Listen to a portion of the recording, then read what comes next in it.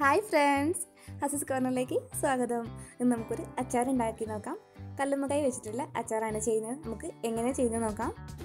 ഞാനിപ്പോൾ ഇവിടെ ഒരു ഇരുപത്തഞ്ച് കല്ലുമ്മക്കായാണ് എടുത്തിട്ടുള്ളത്. നന്നായിട്ട് കഴുകി വൃത്തിയാക്കിയിട്ടുണ്ട് ഇത്.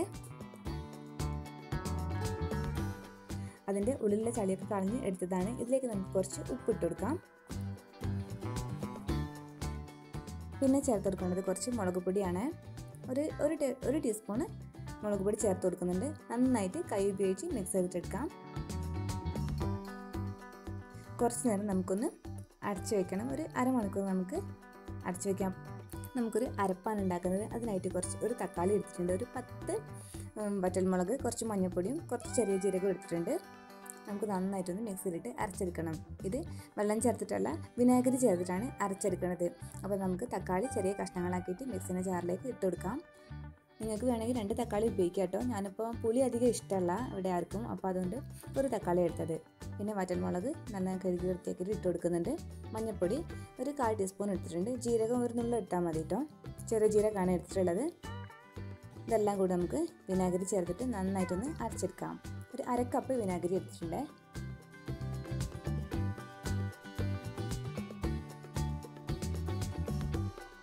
അപ്പോൾ നന്നായിട്ട് അരച്ചെടുത്തിട്ടുണ്ട്. നമുക്കിതൊന്ന് മാറ്റി വയ്ക്കാം. ഒരു പാത്രത്തിൽ നമുക്ക് കുറച്ച് എണ്ണ ചൂടാക്കാൻ വെക്കാം. എള്ളെണ്ണയാണ് എടുത്തത്. നമ്മൾ അച്ചാറല്ല ഉണ്ടാക്കുന്നത്? അതുകൊണ്ട് എള്ളെണ്ണയാണ് എടുത്തത്. അതിലേക്ക് നമുക്ക് കല്ലുമ്മക്കായി ഇട്ടിട്ട് നന്നായിട്ട് ഫ്രൈ ചെയ്തെടുക്കണം.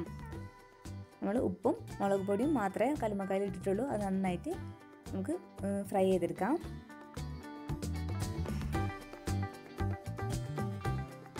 അപ്പോൾ നന്നായിട്ട് ഫ്രൈ ചെയ്തെടുത്തിട്ടുണ്ട്. നമുക്ക് ഓരോന്നായിട്ട് ഇങ്ങനെ കോരിയെടുക്കാം കേട്ടോ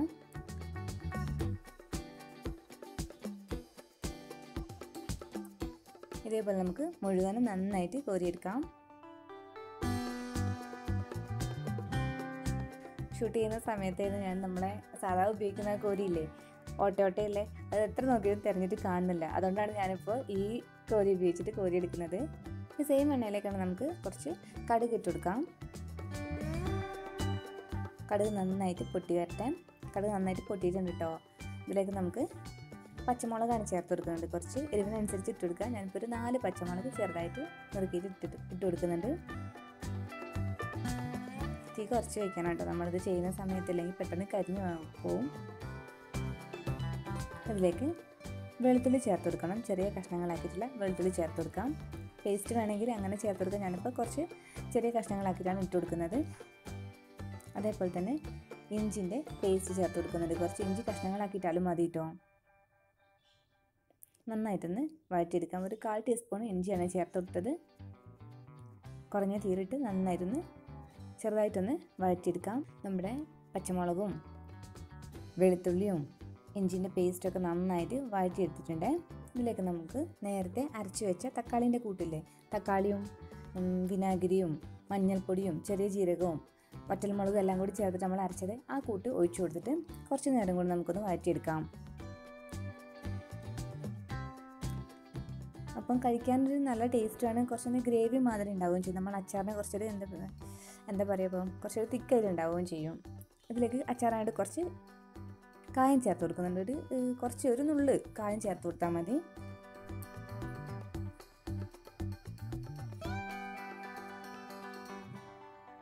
ചെറിയ തീയിലിട്ട് നമുക്ക് കുക്ക് ചെയ്താൽ മതി കേട്ടോ നന്നായിട്ടൊന്ന് മിക്സ് ചെയ്തെടുക്കാം. നന്നായിട്ട് തിളച്ച് വരുന്നുണ്ട്. ഇതിലേക്ക് ഞാൻ ടേസ്റ്റ് ചെയ്ത് നോക്കുമ്പോൾ കുറച്ച് ഉപ്പ് കുറവുണ്ടായിരുന്നു. കുറച്ച് കല്ലുപ്പ് ചേർത്ത് കൊടുക്കട്ടോ കേട്ടോ. നമ്മൾ കല്ലുമ്മക്കായി ഫസ്റ്റ് മിക്സ് ചെയ്ത സമയത്ത് പിന്നെ പൊടിയപ്പായിരുന്നു ചേർത്ത് കൊടുത്തിട്ടുണ്ടായിരുന്നത് അത് മിക്സ് ആകാൻ കുറച്ച് ബുദ്ധിമുട്ടായതുകൊണ്ടാണ് അപ്പോൾ ഞാൻ കല്ലുപ്പ് ചേർക്കാതെ അപ്പം ഞാൻ ചേർത്ത് കൊടുക്കുന്നത് കല്ലുപ്പാണ്. പിന്നെ കുറച്ചും കൂടി വിനാഗിരി ചേർത്ത് കൊടുക്കുക അച്ചാറല്ലേ? അപ്പോൾ നമുക്ക് അര കപ്പും കൂടി വിനാഗിരി ചേർത്ത് കൊടുക്കുന്നുണ്ട്. അപ്പോൾ നന്നായിട്ടൊന്ന് കളറൊക്കെ ജസ്റ്റ് ഒന്ന് ചേഞ്ച് ചെയ്ത് വന്നിട്ടുണ്ട്. കുറച്ചൊന്ന് കുറുകിയും വന്നിട്ടുണ്ട്. നമുക്കിനി എന്താ ഇട്ട് അറിയാമോ നമുക്കിതിലേക്ക് കല്ലുമ്മക്കായി ഫ്രൈ ചെയ്തത് ഇട്ട് കൊടുക്കാം. കല്ലുമ്മക്കായി നന്നായിട്ട് ഫ്രൈ ചെയ്തിട്ടുണ്ടാവണം കേട്ടോ. ഇല്ലെങ്കിൽ അച്ചാറിന് അത്ര ടേസ്റ്റ് ഉണ്ടാവില്ല. അപ്പോൾ കല്ലുമ്മക്കായി ഇട്ട് കൊടുത്തിട്ടുണ്ട്. നമുക്ക് നന്നായിട്ടൊന്ന് മിക്സ് ചെയ്തെടുക്കാം.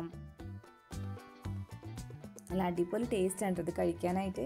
നമ്മൾ പ്രിപ്പയർ ചെയ്തിട്ടൊരു രണ്ടാഴ്ചയൊക്കെ കഴിഞ്ഞിട്ട് എടുക്കണം കേട്ടോ നല്ലത്. അപ്പോൾ നന്നായിട്ട് ഇതിൽ എല്ലാം പിടിച്ചിട്ടുണ്ടാവും. അപ്പോൾ റെഡി ആയിട്ടുണ്ട്. ഞാൻ കുറച്ച് നേരം കൂടി തിളപ്പിച്ചിട്ടുണ്ടായിരുന്നു. അപ്പോൾ നമുക്ക് ഗ്യാസ് ഓഫ് ചെയ്യാം. അപ്പോൾ ഈസി ആയിട്ടുള്ള ടേസ്റ്റ് ആയിട്ടുള്ള കലമ്പക്കായ അച്ചാർ ട്രൈ ചെയ്ത് വെക്കുക അപ്പോൾ നമുക്ക് പുതിയ റെസിപ്പി ആയിട്ട് കാണാം. Thanks for watching